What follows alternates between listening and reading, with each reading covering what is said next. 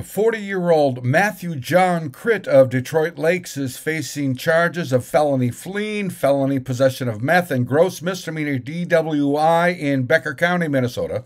According to court records, on May 23rd at 12:17 p.m., the Callaway police chief spotted Critt driving and knew Critt had an active felony warrant. Critt fled an attempted traffic stop. The chase went down a minimum maintenance road and the vehicle stopped. Critt admitted to having drugs in the vehicle. I'm Neil Carlson reporting for iNewZ.TV.